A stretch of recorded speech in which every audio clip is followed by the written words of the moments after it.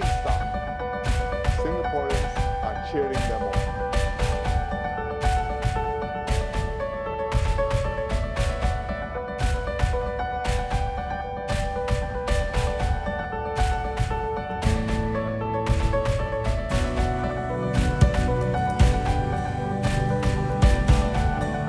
The government, for its part, has been open and transparent with our plan. When we made direct appeals to Singaporeans, for example, only wear face masks when unwell, or don't worry about our supermarkets running out of food or household items, people accepted our reassurances and changed their behavior.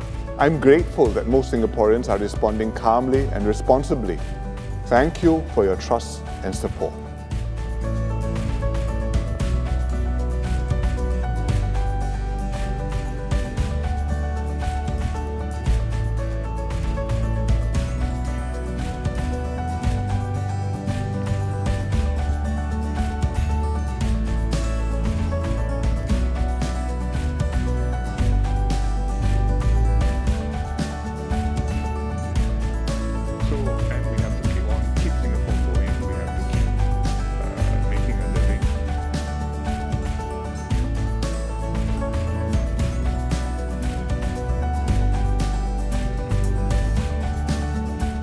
Our frontline staff are working extremely hard to keep Singapore going.